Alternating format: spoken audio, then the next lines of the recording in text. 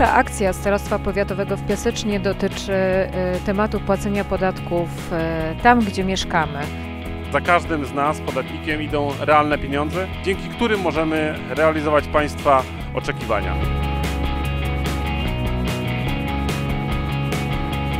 Zachęcamy wszystkich mieszkańców, tych, którzy nie płacą podatków na naszym terenie, płaccie te podatki, bo z tym się wiążą pieniądze na inwestycje, z których na pewno wszyscy będziemy korzystać.